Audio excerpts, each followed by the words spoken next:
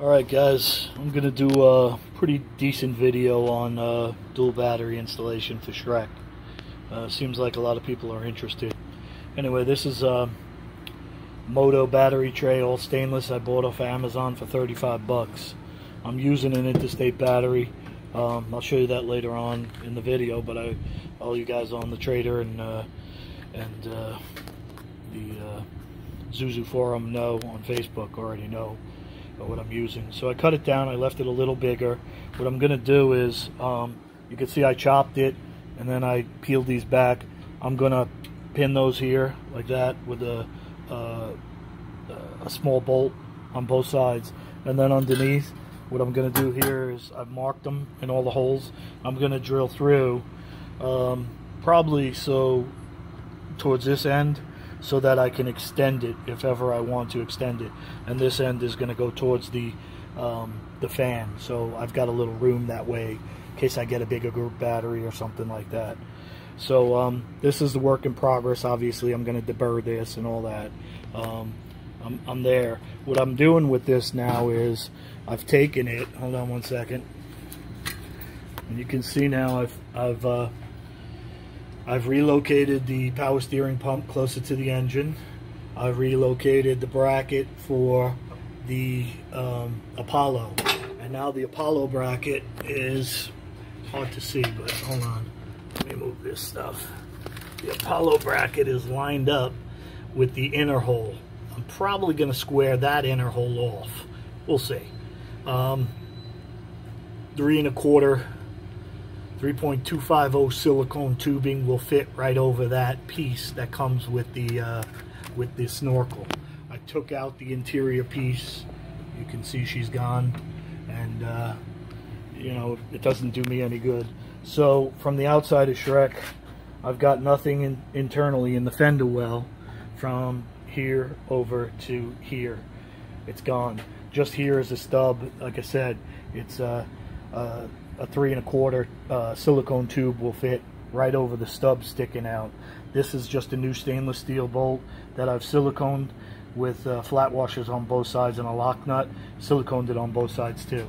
When I, when I, the goal is when I put a, a piece of carpet over that, I want Shrek to stall. Um, I want it completely sealed. So what I'm going to do here is, um, this is on the K&N Apollo, this is four inch. So I'm going to go with um, a 4 to 3 and a quarter reducer right here. And then I should be able to go a 30 right into um, a little stub of, uh, uh, of 3 and a quarter connector or whatever they call them, joiner, the aluminum joiners, uh, to join uh, the reducer to a, a 30 degree elbow and then the 30 degree elbow um, will be a three and a quarter. I'll just use a straight uh, joiner for that and go three and a quarter by I think it's like six inches silicone straight in. Um, I'm gonna try and put hose clamps on everything with silicone. Obviously on the joiners you need hose clamps. Uh, all these connections, everything you see is gonna get siliconed. I decided to keep the OE because it's just easier. Um, on the on the three fives, you've got you've got this right here that goes to the valve cover for your breather. You've got a temperature sensor coming in here. That's kind of doable. Um, I like the fact that it's flexed right here because it lets me turn my angle. And uh, then, you know, my OE mass airflow sensor. Nobody really makes a connector for this OE mass airflow sensor. So the, the way I'm doing it now, it just makes my life a little easier. I did buy this uh, reducer from K&N and um, you know I'll uh, I'll uh, keep joining this up together okay guys so I'll be joining a couple of these videos together in order because um, I don't want them to make them too long um, like I said I uh, I have plans on on this as as it is now it's out of my way the power steering reservoir is out of my way. I still have to make a bracket for the overflow for the radiator. Um, but here's what I got. Um, I ended up with this, let me get this out of my way. I ended up with a nice giant space down here, okay? Um, what I'm going to do, I, I uh, took one of my rubber lifting blocks um, and I, it let me put the tray in flush because, you know, you've got you've got the um, uh, wheel well, the front of the very front of the wheel well here. So um, this lets the battery tray, which I'll show you right now, uh, sit in. one second, guys. Lets it sit in flush. Then I brought it all the way back. I'll take a few. I'll show you from a different angle here. One second. All right. So that lets the battery tray sit in flush, and it gives me um, just about nine inches. Yeah, that's nice, right? Anyway, from here to here, um, which is just borderline, probably very close to the LE. I want to lower the battery a little bit. Um, so what I'm going to do is I'm, I pushed it all the way up to the fender, to the inner fender. That's where the original hole was right there. So I pushed it up both ways and I took a black marker and I marked it down here and down here. And when I remove the battery tray, you'll see that I have an angle mark. I'm going to die grind that and pop and push it down. I'm not going to cut it out. I'm just going to push it down. That'll allow me to lower uh, the battery tray by at least a couple of inches. And uh, it'll sit a little bit lower. Once I get to know what height it's going to sit at, I then have to make a bracket that goes, I'm looking to use that bolt right there because it's a nice little flat spot and probably make some kind of square tube um, bracket. And then I was hoping to come off of one of the existing um, uh, nutserts like this one right here, which uh, these are pretty strong and come over to the tray.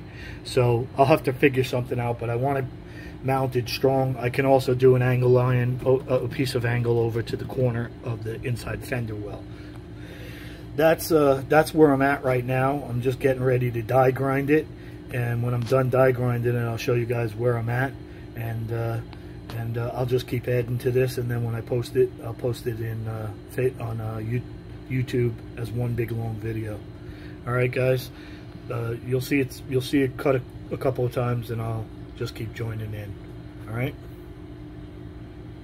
All right, guys. So here's what I did. This is just temporary. Um, I'll show you from the underside on the fender. Here's the inner wheel well. So I just bent a little tab down, not unlike that one I did over there, to access the rear valve cover gasket bolt that you can't get to. Um, once this is all said and done, I'm going to tack these. This I'll probably need to make a little fab. I don't want to drop too far down into the wheel with anything like that where, you know, my, my tire is going to end up hitting something. But um, you'll see once I, give me two seconds, I'll put the battery tray in the hole and give you an idea of where we're at. So just by, just by doing that, you can see that I've substantially lowered the battery tray. I think I had like, you know, it was eight or nine inches earlier. Hold on one second. Get the tape.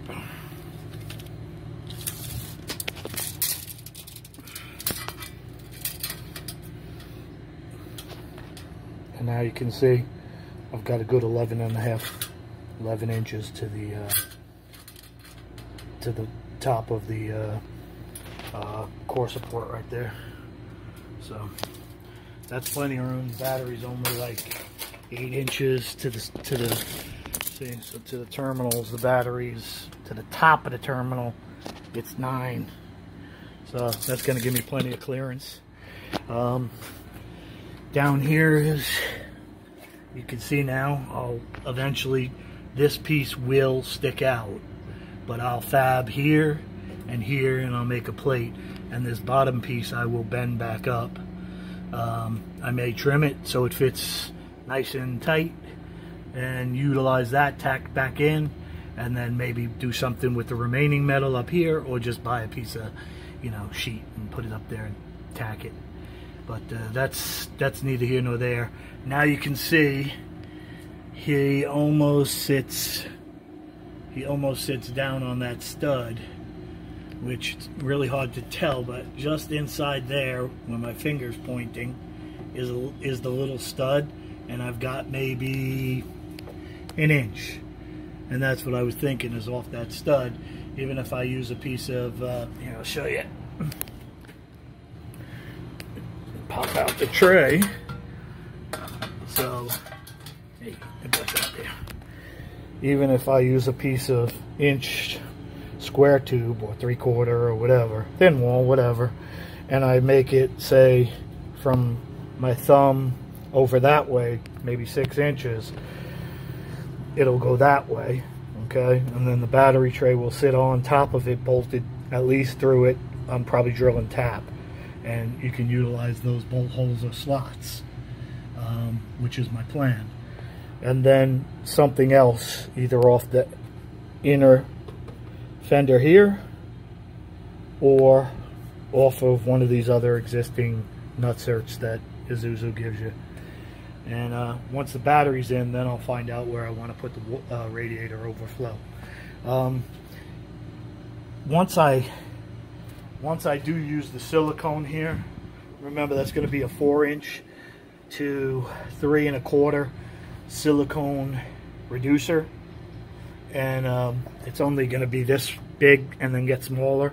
I still have room back there where I can definitely, you know, put the overflow bottle, you know, just above the cables, make a couple of brackets, and have it sit pretty close to where it used to go. Um, as a matter of fact, one of its bolt holes is right there. Uh, I don't know if you can see it against the inner fender wall. Uh, the other one's down there, you know, being used right now.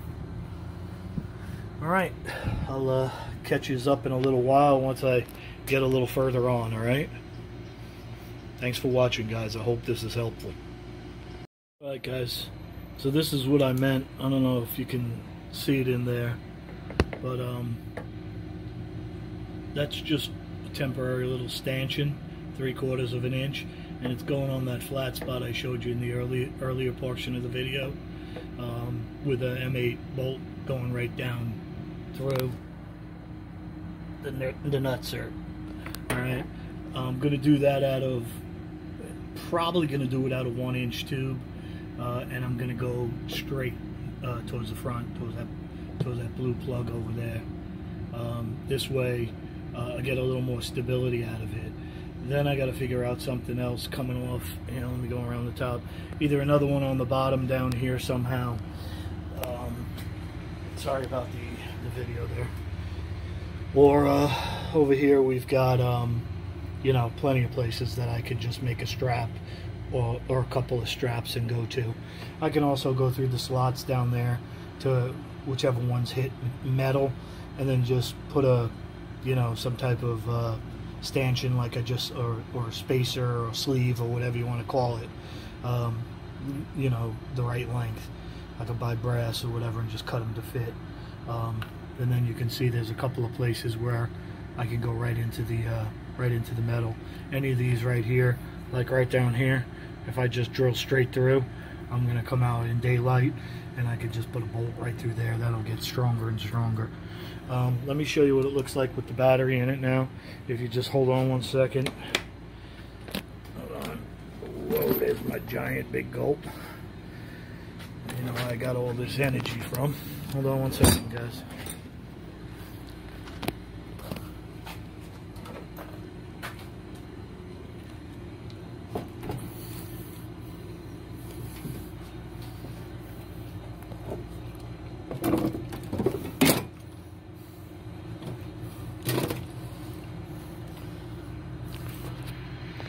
Alright, so that's just a rough look at what it's going to do with the one stanchion.